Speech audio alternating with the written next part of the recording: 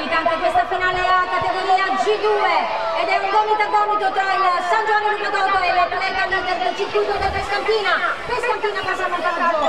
Alessandro Zanandres a seguire Elias Leone dell'Alaretta San Luca Cottina e ancora in Verona con Alessandro Gaule in terza posizione.